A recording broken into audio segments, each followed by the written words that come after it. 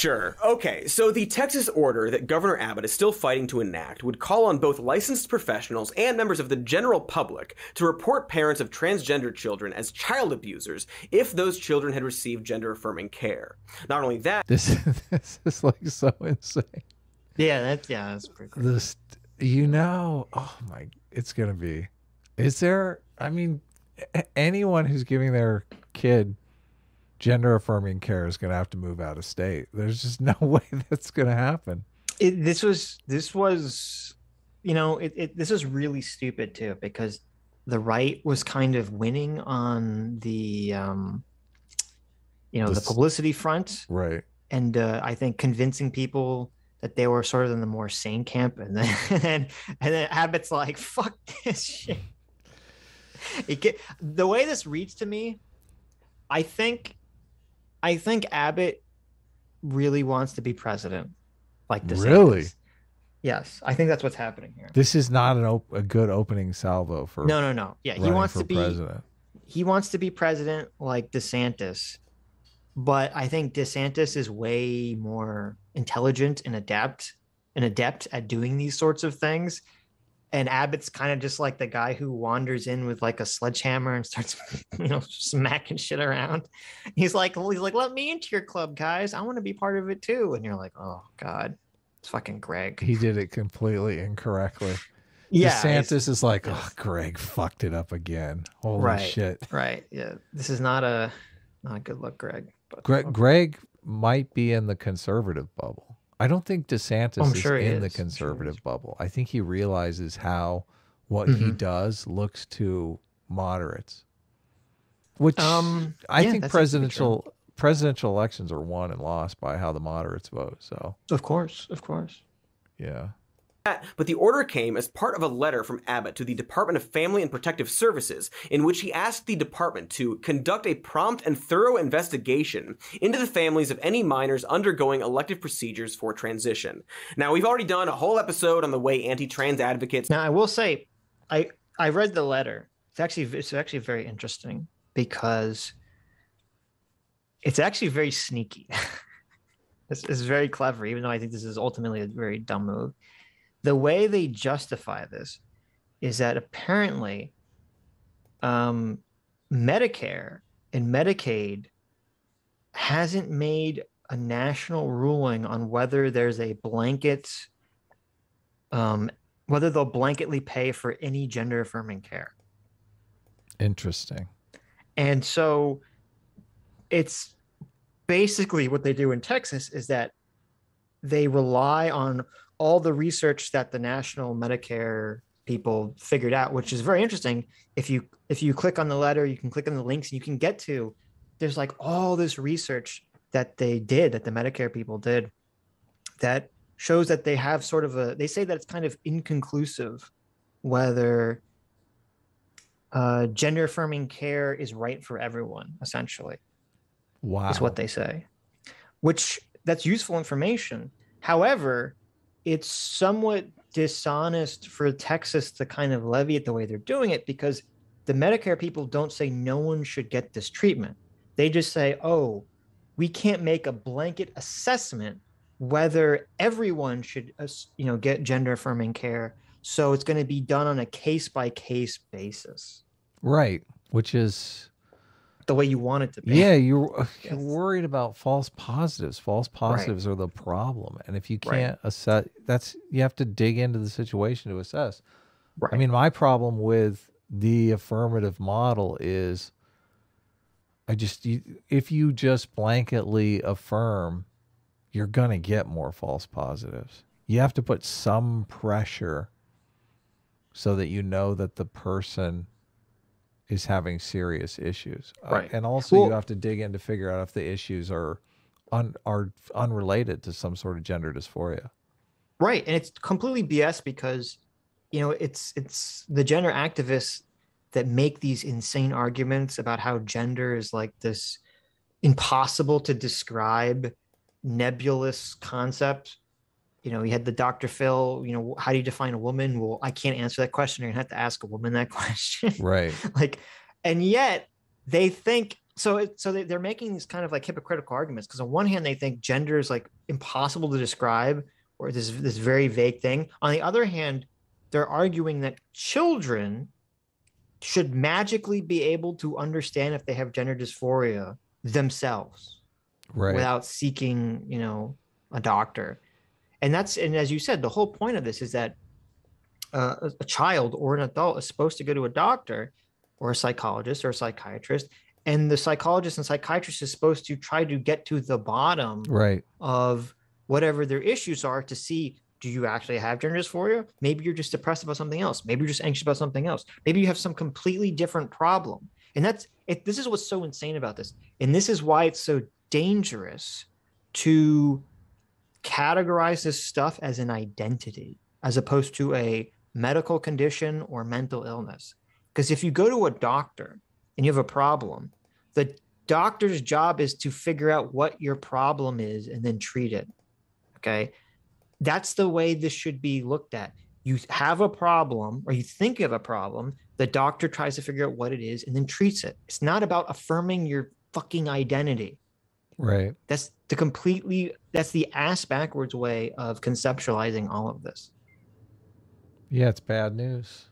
Right. It's completely bad news. It's like building an identity around being having cancer.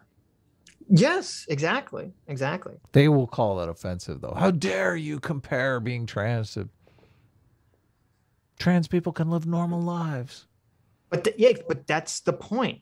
And that's why I said in the beginning of the stream, your sexual orientation and your gender identity should be the least interesting part about you. Right. That should not be the basis of your personality. People disagree. That's the problem. You have a bunch of boring losers who don't have anything going for them. So they want to use their gender identity as a crutch to make themselves interesting. Total istophobe. Right. Get a hobby. No, you are the istophobe. Get listen. Get a hobby. Uh, you know, get some interesting things to go be interested in. You know, construct a personality for yourself so you can have a conversation with someone about something outside of gender identity. I mean, I don't. I got to admit, when I. I mean, there was a time in my life when girls was the thing I was most interested in. So I just. Now, there's a difference. There's a difference. Yeah, but wait a minute. There's a difference between you being interested in having sex, okay, Right. and you saying, "Well, me being a straight male is the most interesting aspect of my personality." Okay. Good. I'm glad. Oh, thank You, you. you understand? Yes, like, there's a huge yeah, difference there. Yes. Okay. Yes. I'm glad we made that distinction. Yes. Okay. Use the what about the children narrative to obfuscate their puritanical conservative attitudes towards gender and sexuality, and we would probably make a whole other video about other ways that transphobic ideology is wrong and bad. In fact, make See, and the fact that you and I and anyone cares about false positives in children, that's just fake. Transphobia. It is. I know. That's just it. transphobia. That's, Yeah. to mask up our our secret intrinsic transphobic beliefs. Right. Yeah. Moa. Dishonest. Joes. All right, but it bears worth repeating here. Puberty blockers are broadly reversible and cause no meaningful harm. What's more, gender affirming care, Ah, fuck you. including puberty blockers, is We're like, let's, how can he just lie? How can he just lie? Just Mm-hmm. I lie in your face right there. I know. I know. Yeah. It's pretty Well- bad. Uh, wasn't what you know one of the other problems with the Texas thing too is that the the studies that the national Medicare people were looking at, I don't think any of them were really about puberty blockers.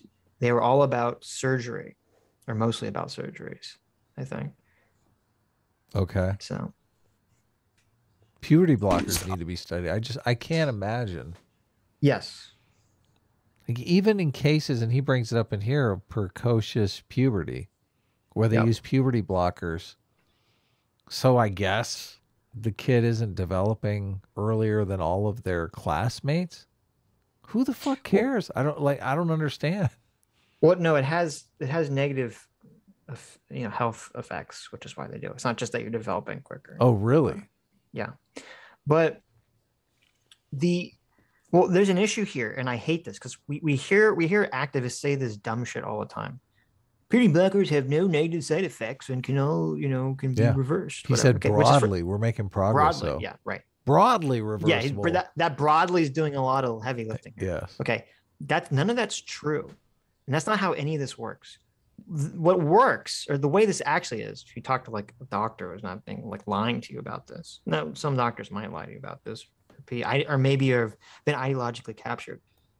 This is this is the reason so much of the conversation about this is kind of screwed up, because the suicide rate for kids and people with gender dysphoria is so high or is potentially so high.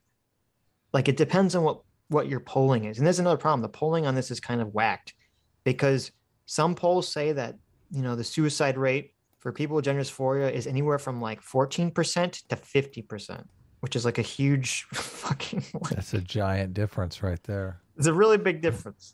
Okay. And uh, and when I say suicide rate, I mean suicide attempted rate, not success rate. Um, so this that's the problem because the way that you look at all of medicine, of all medicines, of all treatments, is that there's very few medicines or sur- or surgeries or treatments you can get that have zero risk. They're like there's so few that have zero risk. Generally, it's like, well, if you have this medical condition, you have like an 80% chance that you're going to get this sickness. Now we can give you this drug, and this drug has like a you know a 95% chance to fix your illness, but it also has a 5% chance to cause some bad side effect. And so you have to make sort of this cost benefit analysis in your mind where you say, well, would you rather take the 5% chance of having the bad medical side effect from the medicine, or do you want to have the 80% chance that whatever your illness is is going to fucking kill you? Yeah. Right. That's how gamble. Right. That's how all medicine works.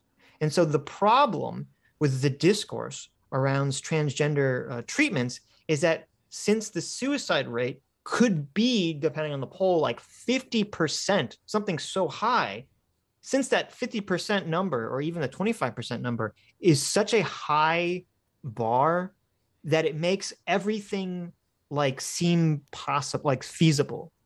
So you could say, like, oh, well, if you're on puberty blockers for your for your entire life, because the thing is that with like, I think you have to be on puberty blockers forever, or you have to take cross sex hormone. Like, I don't think if you never go through puberty, I'm not sure if I don't know about this. I don't, but I, I'm not sure you can just like stop taking puberty blockers when you reach 25 and your body will stop trying to make you go through puberty or something. You, I don't don't- how I thought you go through puberty at 25. no, if you stop taking the puberty blockers at 25, you go. Oh yeah, yeah, that's what I mean. I'm, Yeah. I'm saying I don't think this. I think if you start taking puberty blockers as a kid, I think you have to take them forever. I'm not sure there's a. Well, you don't you block can puberty taking them. forever. You can delay it, but only for so long. I'm assuming you can't go. I don't know. You can't be I like 45 and like Maybe I have never been through puberty. I don't know. We I don't know if there's long term studies on any of this stuff. That can't happen. well, That we'll see. But that seems insane. right, it does. It does. But what I'm but what I'm getting at is like if the suicide attempt rate is like 50% or something that high, then what they'll say is, well, you know, the puberty blockers, you know, they have a 25% chance of causing heart disease or you know, or depression or some other effect, but it's still beneficial because the, you know, the cost benefit is versus 50% suicide, right?